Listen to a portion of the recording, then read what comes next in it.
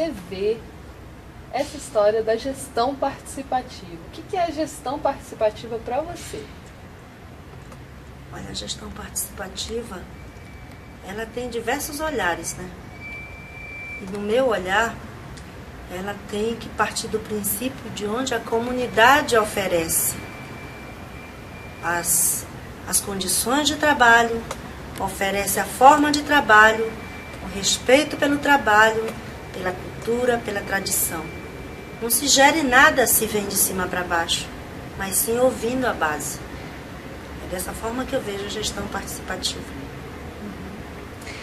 E Marli, qual a importância da capacitação dentro das comunidades?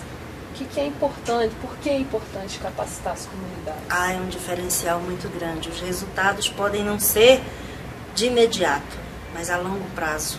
E a capacitação ela tem que ser continuada para que se dê real valor ao que nós temos.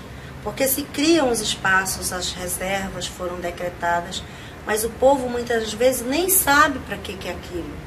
Então é preciso que haja a capacitação desse povo para que ele possa se apropriar do que ele de fato tem, porque você não ama uma coisa que você não conhece. Você só passa a amar na medida que você conhece e que você se inclui como parte daquilo que você está conhecendo. Eu sou responsável pelo, pela transformação do mundo e a partir de que nós pensamos igual, de igual forma, aí a gente passa a ter um mundo melhor.